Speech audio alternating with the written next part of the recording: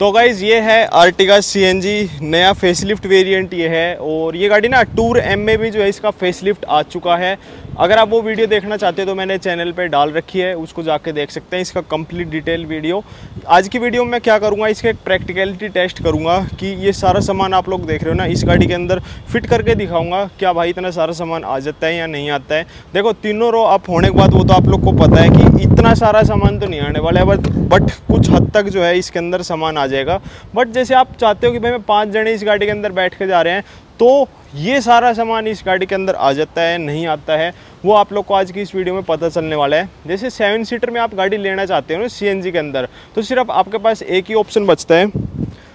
तो सिर्फ़ आपके पास एक ही ऑप्शन बचता है, जो कि है Ertiga C N G seven seater के अंदर कोई भी सी एन जी गाड़ियाँ नहीं आती है।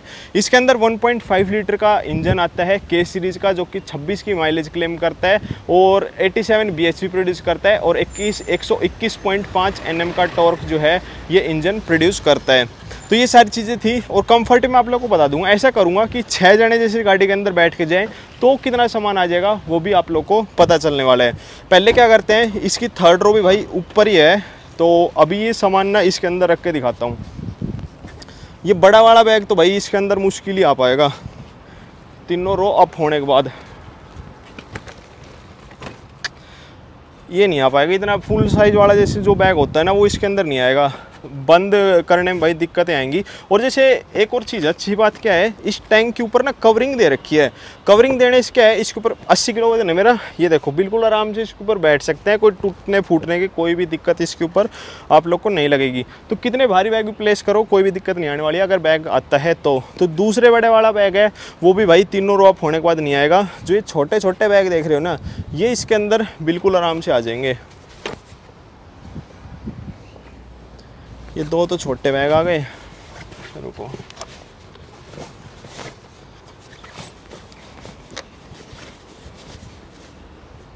ये भी आ गया।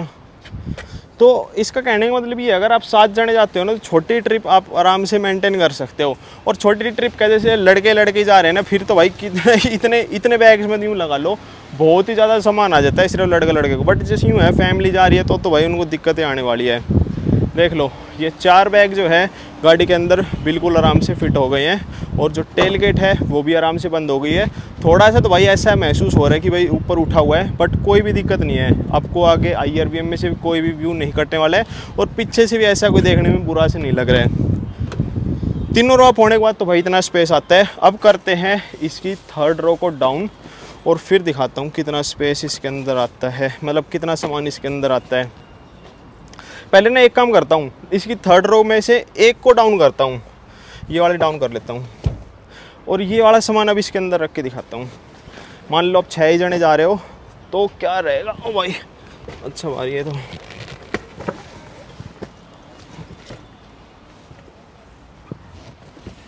ये देखो एक रो डाउन है, एक रो अप है तो ये बड़े वाला बैग बिल्कुल आराम आराम से इसके अंदर आ गया है और दूसरे बड़े वाला बैग और रखना चाहूँ ना तो इसके ऊपर भाई आराम से प्लेस कर सकता हूँ। ये फुल साइज़ वाला भाई बैग है। कितना साइज़ है इसका? एक, दो और तीन। तीन हाथ, इतने बड़े बड़े, पूरे तीन हाथ जितना बड़ा बैग है। नाप का कितना बताऊँ यार मैं? एक, दो मतलब डेढ़, दो फुट जितना ये बैग है। और इसके ऊपर ये वाला बैग बिल्कुल आराम से आ गया। थोड़ा सा तो भाई आईआरवीएम में जो है आपका व्यू कट सकता है और जो छोटे छोटे बैग हैं, ये तो बिल्कुल आराम से आ जाएँगे।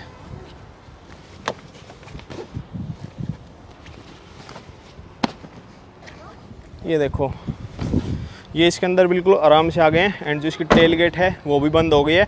आई आर में से एक और बैठ के बताता हूँ कितना व्यू कटता है और इसकी थर्ड रो में एक और इधर से दिखा। थर्ड रो में देखो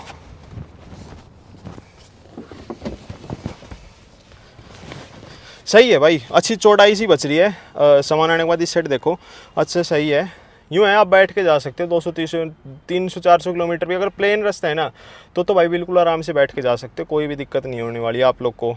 जो सीट है, मैंने ऐसी एडजस्ट कर रखी है, जो आगे सेकंड रूम बैठेगा वो भी आराम से बैठ जाए और थर्ड रूम बैठेगा वो भी आराम से बैठ जाए।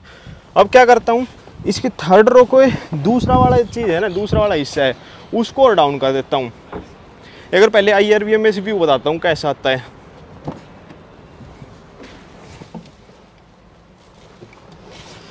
भाई बिल्कुल थोड़ा सा व्यू कट रहा है। ऐसी कोई भी दिक्कत नहीं आ रही है। पूरा व्यू दिख रहा है इसके आई आर में से। आप लोग को शो करके दिखा दूँगा कितना दिख रहा है। अब क्या करता हूँ, इसकी थर्ड रो को इसको डाउन कर लेता हूँ। अब भाई बैग्स की जगह मैंने क्या कर रखा है? ये चीज़ आप देख रहे हो ना। ये देखो, कितने सारे। ये इसके अंदर प्लेस करके दिखाता हूँ। ये है इसके रिम्स एक बॉक्स दो बॉक्स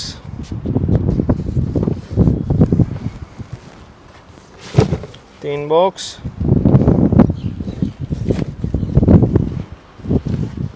चार बॉक्स अब आई आर में व्यू कट जाएगा। मैंने ज़्यादा शान पत्ती कर दी तो। और ये लो, पाँच बॉक्स और ये सीट इसकी कर देता हूँ पीछे। और ये कर देता हूँ इसका बढ़िया सा रेकलाइनिंग एंगल ये देखो सेकंड रो में कितना लाजवाब सा स्पेस बन गया। देख रहे हो भाई, बहुत तगड़ा सा स्पेस बन गया। तो सेकंड रो में जो बैठेगा, वो भी बिल्कुल आराम से बैठ सकता है। और आई आर वी एम में से भी आपको बताऊँ ना, यार इस टॉपिक वजह से ना हाइट का अंदाज़ा नहीं हो रहा बार बार सिर्फ़ बजने लग रहा है। देखो, आपको आई आर वी एम में से व्यू दिखाता हूँ, अगर मैं पकड़ता हूँ वाली कैमरा अगर इसको बंद कर।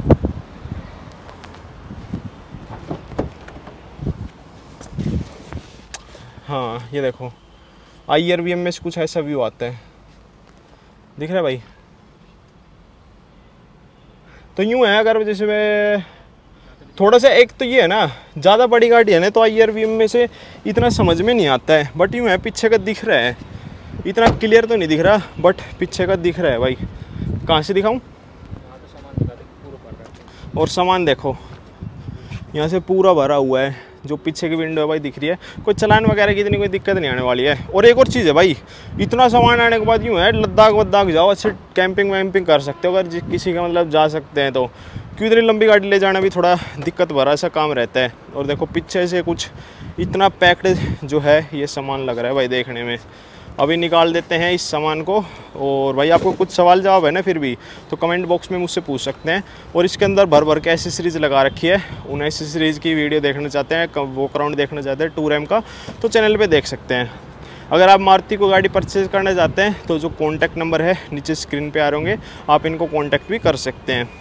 और 45 लीटर की गाड़ी के अंदर फ्यूल टैंक कैपेसिटी मिलती है। 60 लीटर की जो है वाटर कैपेसिटी मिलती है इस टैंक की।